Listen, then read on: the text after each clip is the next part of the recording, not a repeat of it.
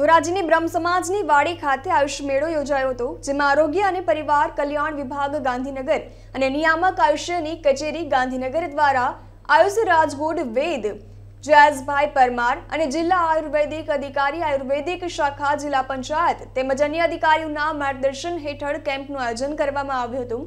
મેળામાં મોટી સંખ્યામાં લોકો ઉપસ્થિત રહ્યા હતા અને આયુષ્ય મેળા વિશે માહિતી આપવામાં આવી હતી. પાંચસોથી વધારે લોકોએ આ કેમ્પનો લાભ લીધો હતો. એક આયુષ મેળાનું આયોજન કરવામાં આવ્યું છે.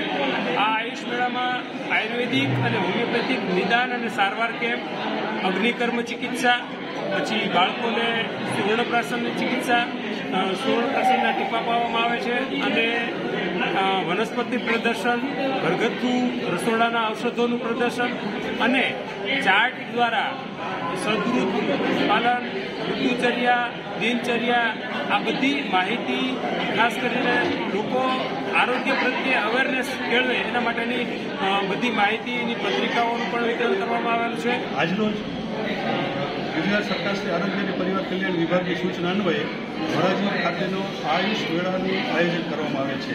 આ આયુષ મેળામાં અત્રેથી આયુર્વેદિક અને હોમિયોપેથી નિદાન સારવાર કેમ્પ, આ ઉપરાંત અગ્નિકર્મ ચિકિત્સા, મર્મ ચિકિત્સા નાડી ચિકિત્સા તથા બાળકો ઝીરોથી બાર વર્ષના બાળકો માટેના સુવર્ણ પ્રસંગના વિનામૂલ્યે નિદાન સારવાર કેમ્પની સાથે વ્યવસ્થા કરવામાં આવે.